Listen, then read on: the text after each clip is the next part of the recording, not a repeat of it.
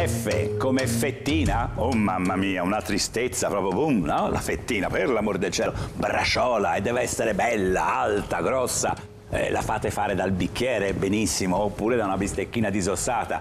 E poi andare a casa e farsi surriscaldare una padella proprio in maniera oh, coraggiosa e poi mettercela dentro za da una parte za da quell'altra. E poi za ancora una volta e za ancora un'altra volta. Il tutto deve durare 5-6 minuti. Mi raccomando nell'ultimo minuto dell'ultimo za abbiate il coraggio di metterci una bella noce di burro sfrigolante con un bel gottino d'olio che farà sì che il burro non bruci e poi un mezzo limone e poi rigirate ancora rapidissimamente la braciola in modo che con tutte le sue parti belle abbrostolicchiate, c'è da colore a questa salsina che si andrà a comporre col burro, l'olio e il limone. E poi mangiatevela, anche in solitudine o in due, con un bel tocco di pane. Una meraviglia la braciola zazà. Fettina? Mai! Stocca fisso nel tuo sguardo, t'accarezzo